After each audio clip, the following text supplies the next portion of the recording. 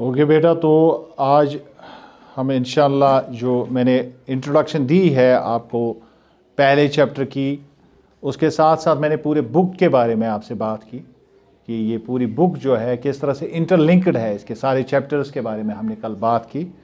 आज हम सिर्फ़ इस लेसन का इंट्रोडक्शन पढ़ेंगे इंट्रोडक्शन करेंगे हम थोड़ा सा कि ये जो चैप्टर है, इसका नाम ही रखा है इन्होंने अंडरस्टैंडिंग डाइवर्सिटी क्या रखा है नाम? मैंने आपको बताया डाइवर्सिटी क्या होती है कि डाइवर्सिटी का मतलब होता है तनु। तनु का मतलब होता है, यानी हम एक लफ्ज़ इस्तेमाल करते हैं उर्दू में, नवी इंसानी। यानी इंसान की बहुत सारी अकसाम है। दुनिया में किसी का रंग एक तरह से है, किसी का मज़हब एक तरह से है, किसी का दूसरे तरह से है। कोई काद में लंबा है तो कोई काद में छोटा है, पस्त है। बात समझ रहे हैं मेरी?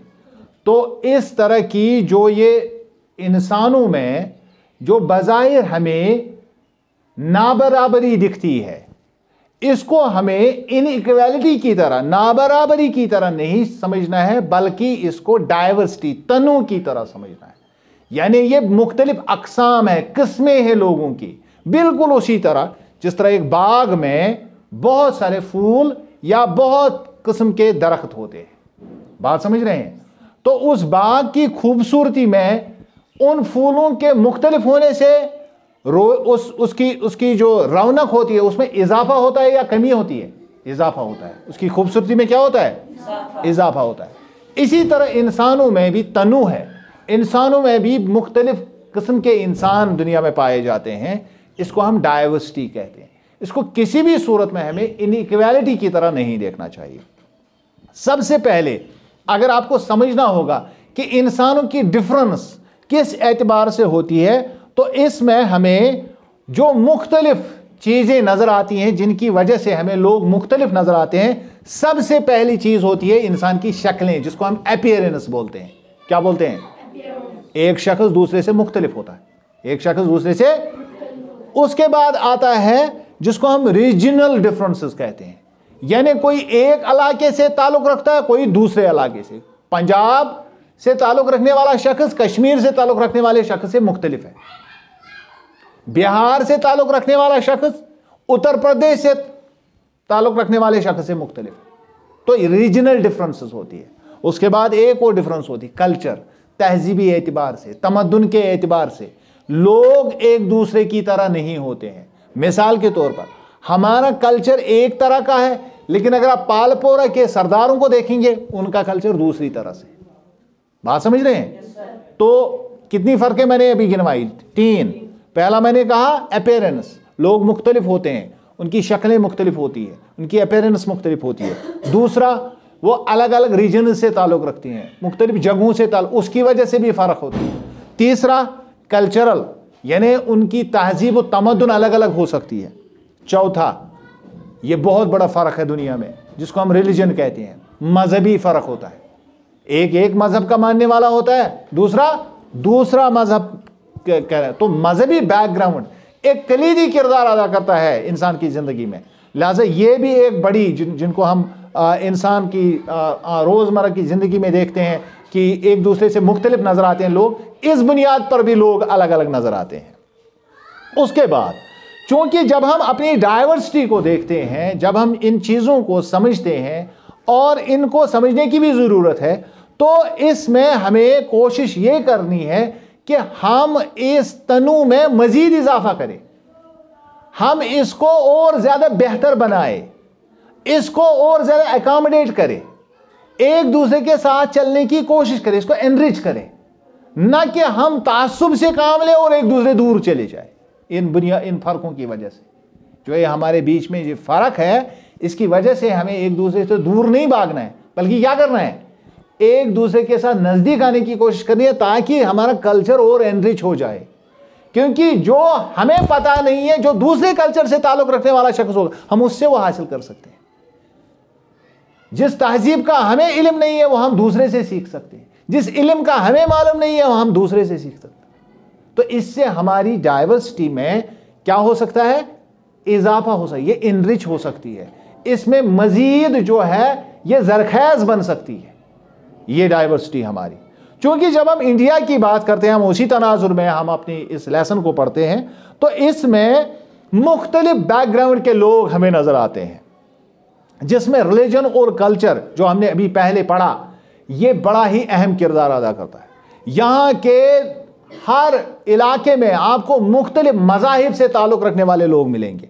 और यहाँ के इलाकों की जगराफी, जो इलाकाई जगराफिया होती है, उस इलाकाई जगराफिया को भी अगर आप देखेंगे, उसमें भी बहुत ज़्यादा फ़र्क है। मिसाल के तौर पर हम एक तरह का ड्रेस पहनते हैं, लेकिन इसी स्टेट का दूसरा हिस्सा, लद्दाख, अगर आप उसको देखेंगे। अरेस्टवाइल जो जम्मू कश्मीर की स्टेट है, अगर उसका एक हिस्सा जो लद्दाख है, उसको देखेंगे, वहाँ के लोगों का ड्रेस अलग है। खाना पीना अलग है, उठना बैठना अलग है। इसी तरह अगर आप जम्मू जाएँगे, जो इस अरेस्टवाइल स्टेट का एक और हिस्सा है तो उसमें भी आपको नज़र आएगी। ये फ़र्क। बात समझ रहे हैं मेरी? तो इसमें जो डिफरेंस होती है, जो कल्चर या रिलीजन की वजह से होता है, इसके अलावा जोग्राफियाई डिफरेंसेस भी होते हैं। रिलीजन तो पता ही है। अगर हम लद्दाख की बात करेंगे तो वहाँ तो बुद्ध मज़हब माना जाता है। कश्मीर वैली की बात करेंगे तो यहाँ कौन सा मज़हब है? इस्लाम ज़्यादातर माना जाता है। और जब आप जम्मू जाएँगे तो वहाँ हिंदुइज्म को माना जाता है। तो इस एतबार से भी फ़र्क है।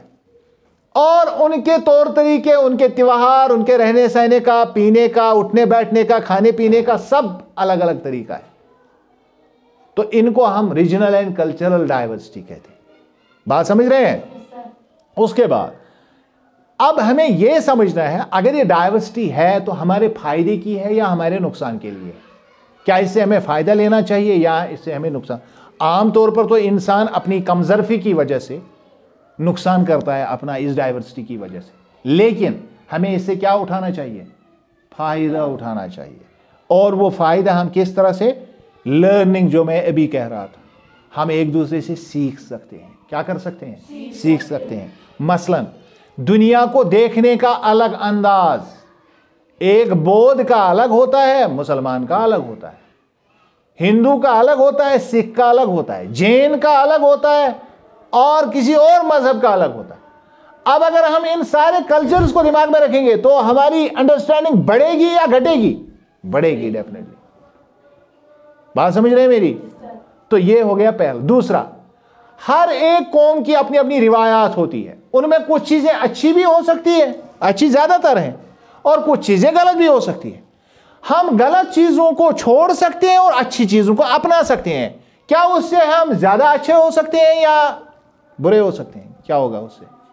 तो ट्रेडिशंस भी हम सीख सकते हैं।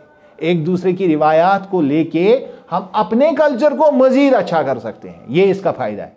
ये इसका फ़ायदा है। उसके बाद अब अगर हम बात करेंगे, जैसा मैंने कहा, ये डाइवर्सिटी क्यों होती है? उसकी रूट जो होती है, ये होती है दो तरह की। एक जोग्राफियाई और दूसरा हिस्टोरिकल जो मैंने कल आपको बताया था। जोग्राफिया की वजह से हम जो कपड़े पहनते हैं जोग्राफिया की वजह से। जो जम्मू में लोग कपड़े पहनते हैं, वो अपनी जोग्राफिया की वजह से पहनते हैं। अब अगर हम इसको बुनियाद बना के ये कहेंगे कि ये हमसे इंफीरियर है, ये कहाँ का इंसाफ अगर हम फेरन पहनते हैं और जम्मू वाले हम, हमारे ऊपर इस बात पर तनज करेंगे तो उनको तो पता नहीं, एक मरतबा वो कश्मीर आएँगे सरमा में पता चलेगा फेरन किस काम का है। समझ रहे हैं मेरी बात?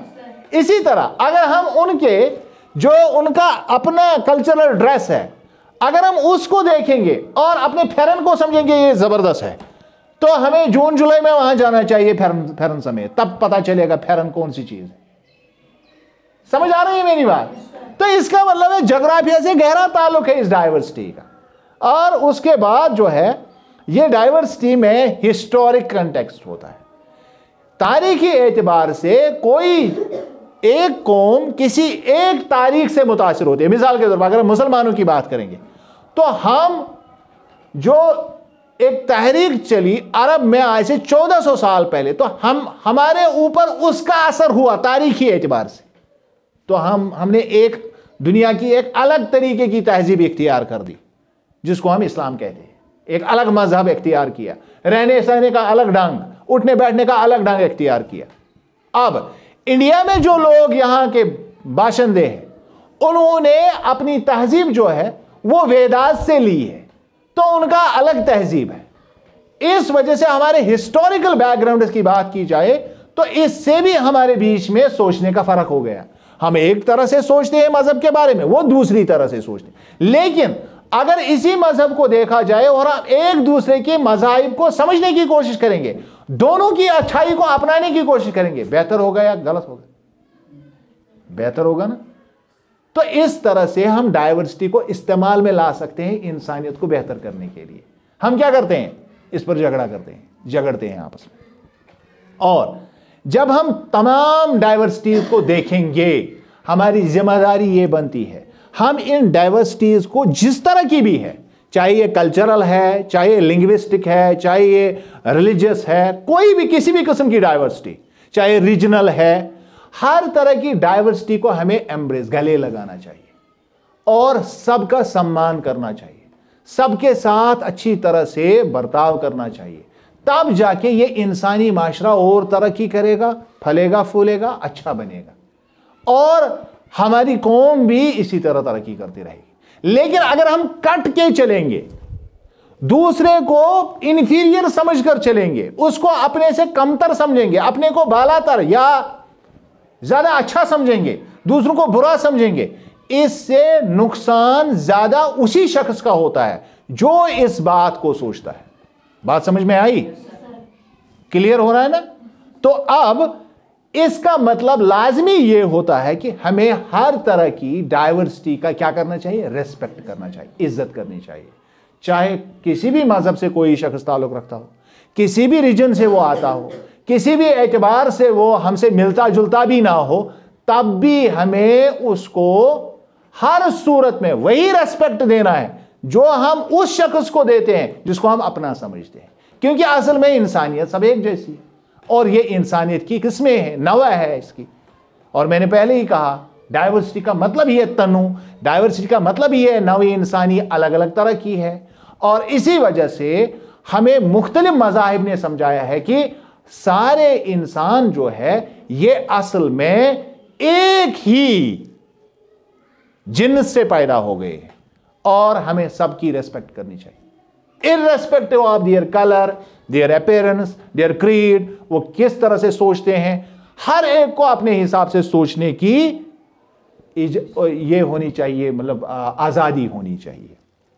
और किसी की लैंग्वेज या किसी के कल्चर या किसी के रिलीजन को बुरा भला कहने की ज़रूरत नहीं है और ना ये करना चाहिए।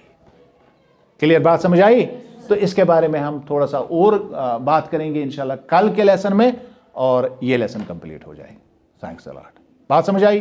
ओके कोई सवाल?